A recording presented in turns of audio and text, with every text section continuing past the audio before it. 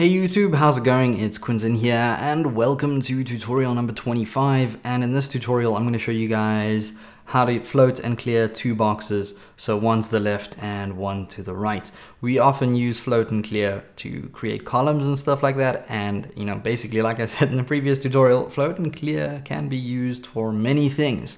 Uh, so this is uh, what we ended the last tutorial off with and uh, you can see that we used float to float an image um, into the corner of some text. Right, so I'm gonna go ahead and just clear all of that code out of my CSS. I'm also going to clear all of that code out of my uh, body. And uh, let's take a look at float and clear part two, right? So like I said, I wanna create a, a box to the left and then a box to the right. So let's create a div and I'm going to give this div a class of box box one. And then I'm also going to copy that div and move it over move over to a new line and call that one box two. So we'll say that box one is the left side. And we'll say that box two is the right side Save this now, come back over the browser, hit refresh, and you can see we've got our left side and we've got our right side, but uh, right now they're not displaying on the left and the right. Um, instead, they're displaying one above the other.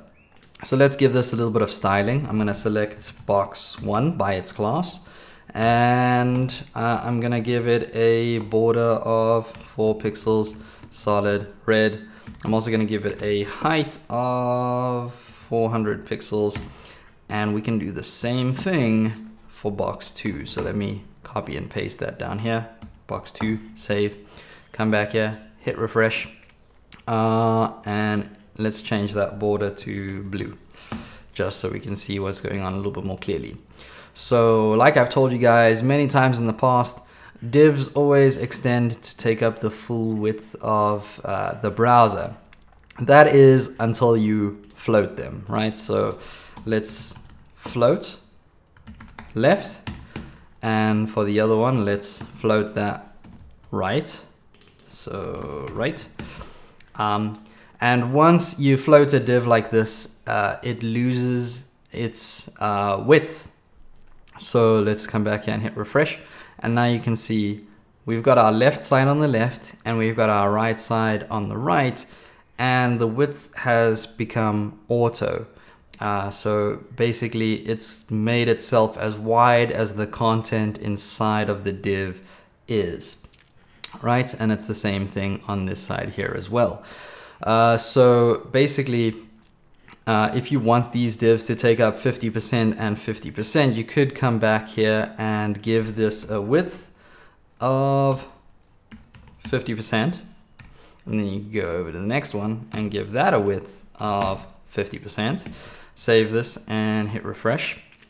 And now you can see we've got a little bit of a problem because they're not displaying next to each other anymore. We don't have our left side on the left and our right side on the right. And that is a bit of a problem. But the reason why that came across is because uh, if I inspect that in Firebug, and I hover over uh, this element, you can see that box one uh, has a border of four pixels on the left. It's also got a border of four pixels on the right, and then it's got its width over here um, in the actual element.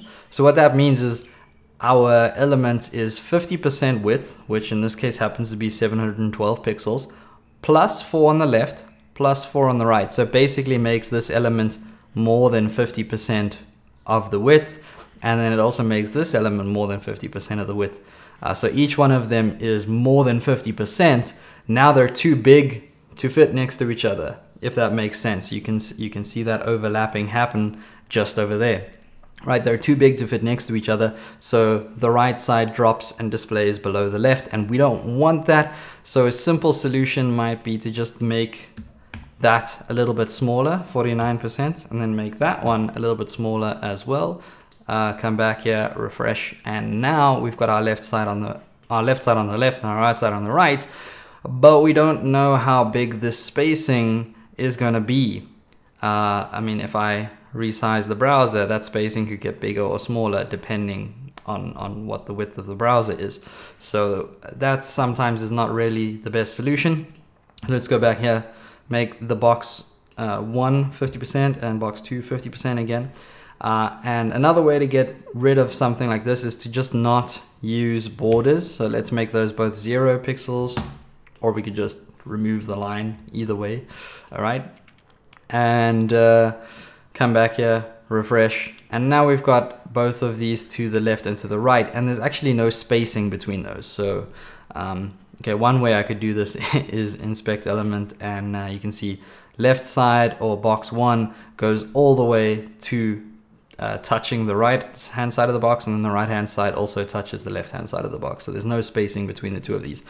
Uh, and an easier way to see that might be to just add a background of red to box one and a background of blue to box two, right? So let's come back and hit refresh. Uh, these boxes are displayed pushed up against each other.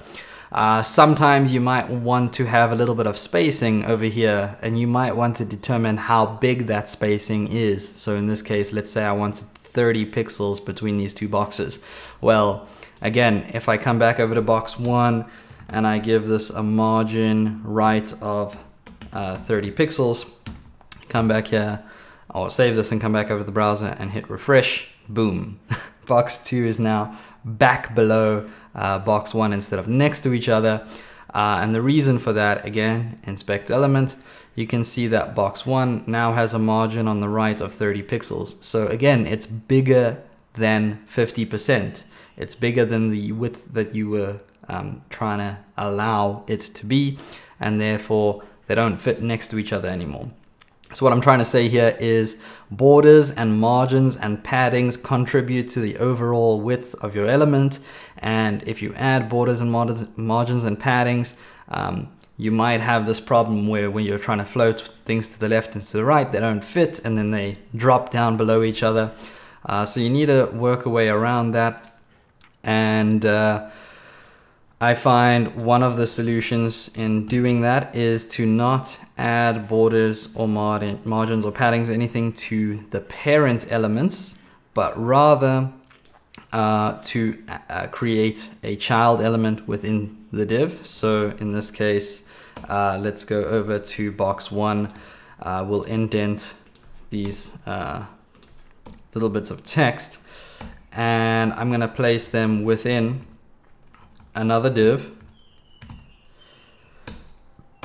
and we'll give that a class of inner box, right? Um, so let's copy and paste that text into there and get rid of uh, that spacing. And we can do the same thing with the right hand side. Uh, and uh, now if I come back here, refresh, we've got these two next to each other, but um, like I said, I wanted to have 30 pixels of spacing between these two. So to do that, um, let's get rid of the background colors and the borders. And we'll do the same with number two. And then we can select the children inside of these elements. So let's go box one and then we'll select the inner box inside of box one. So in, uh, now what we're doing is instead of selecting this element, we're selecting this element. Uh, I've spoken about child classes before, so that's exactly what happens here, or child selectors. And let's give that a background of red. And we'll do the same for box two. Box two's inner box, we'll make that, uh, we'll have that with a background of uh, blue. And now they're displaying next to each other. They've lost their height. Reason why is because the height was given to the parent and the parent now longer, no longer has a background color. So uh, you might want to take that height out and put that down here as well if you're expecting to have the height. Um, and then, uh, well, let's just save and refresh. All right, so now that they've got their heights back, uh, but I want that spacing here. So now inner box of box one can have a margin right of 30 pixels and that's gonna give it that little bit of space.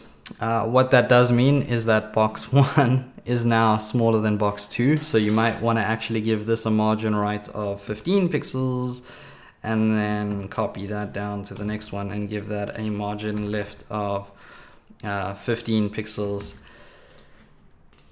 and that'll keep them exactly the same size with that spacing in the middle. So you could do it that way. There are other ways you could uh, take care of this as well. Um, and uh, yeah, there's many different ways to get get around this problem, right? Uh, so it just depends on how you want to do things and what the ultimate uh, goal or look for you is going to be. Uh, but like I said, there are many uses for this because sometimes you might want to have a paragraph of text over here and then an image to the right, or you might want to have an image to the left and some paragraph of text to the right. So it all depends on, on what it is you're trying to do. Uh, and uh, yeah, uh, we will be taking a look at more examples of this in future. They won't be specifically dedicated to float and clear, but hopefully uh, we'll use a practical example somewhere and uh, you'll get to see exactly how this all works. I just want to send a shout out to my sponsors at DevMountain. They run a coding bootcamp with courses on iOS development, UX design, and web development, and they'll teach you everything you need to know to get a job within this field, and they'll do it within 12 weeks. So check out their website, the link is in the description below, and if you do contact them, make sure to tell them that I sent you. Special thanks to the guys whose names are on screen now. These guys contribute $5 or more on Patreon, and I really appreciate that. Uh, while you're still here, there are a few other things that you can do to help out, so follow me on social media and check out some more of my content, and I'll see you guys next time.